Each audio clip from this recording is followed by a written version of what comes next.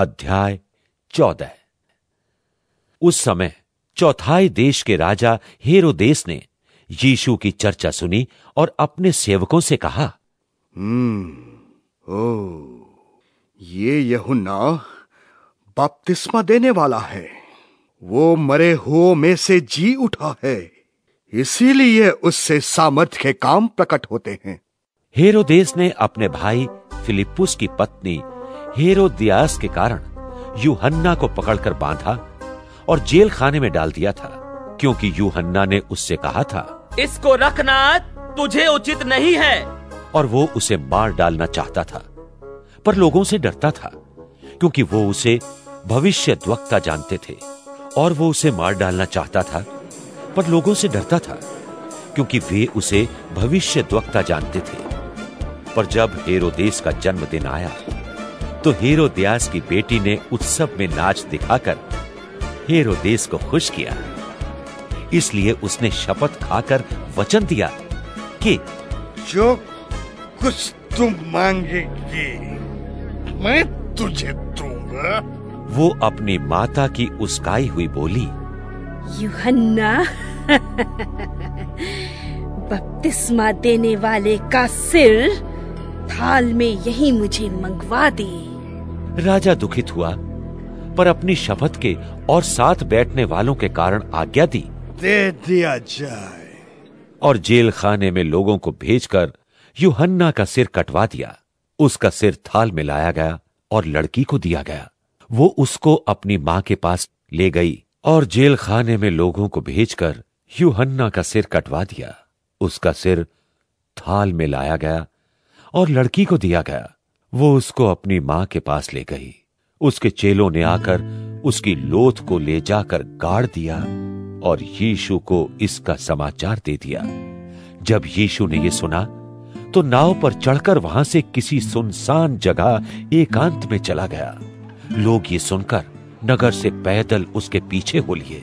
उसने निकलकर बड़ी भीड़ देखी और उन पर तरस खाया और उसने उनके बीमारों को चंगा किया।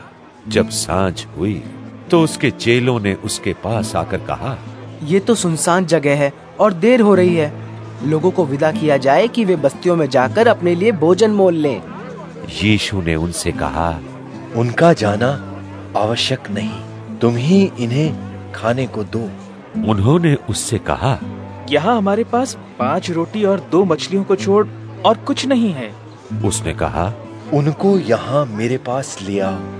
तब उसने लोगों को घास पर बैठने को कहा और उन पाँच रोटियों और दो मछलियों को लिया और स्वर्ग की ओर देखकर धन्यवाद किया और रोटियाँ तोड़ तोड़कर चेलों को दी और चेलों ने लोगों को और सब खाकर तृप्त हो गए।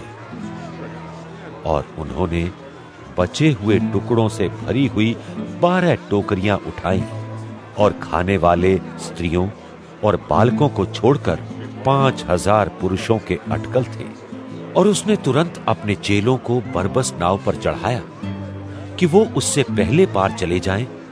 इतने में वो लोगों को विदा करते वो लोगों को विदा करके प्रार्थना करने अलग पहाड़ पर चढ़ गया और साँझ को अकेला था उस समय नाव झील के बीच लहरों से डगमगा रही थी, क्योंकि हवा सामने की थी और वो रात के चौथे पहर झील पर चलते हुए उनके पास आया।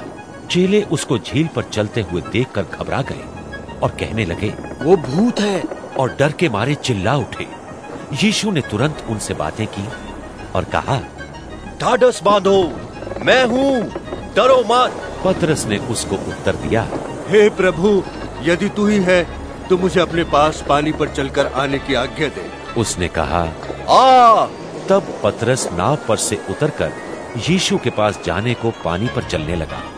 पर हवा को देखकर डर गया और जब डूबने लगा तो चिल्लाकर कहा हे प्रभु मुझे बचा! यीशु ने तुरंत हाथ बढ़ाकर उसे थाम लिया और उससे कहा हे अल्प विश्वासी तूने क्यों संदेह किया? जब वे नाव पर चढ़ गए तो हवा थम गई। इस पर जो नाव पर थे उन्होंने उसे दंडवत करके कहा सचमुच, तू परमेश्वर का पुत्र है। वे पार उतरकर गन्ने सरत देश में पहुँचे और वहाँ के लोगों ने उसे पहचान कर आसपास के सारे देश में कहला भेजा और सब बीमारों को उसके पास लाए और उससे विनती करने लगे कि वो उन्हें अपने वस्त्र के आंचल ही को छूने दे। जितनों ने उसे छुआ, वे चंगे हो गए।